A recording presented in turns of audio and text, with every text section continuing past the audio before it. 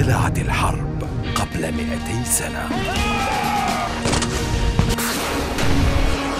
وفر الكثيرون غدت البلاد على وشك الانهيار.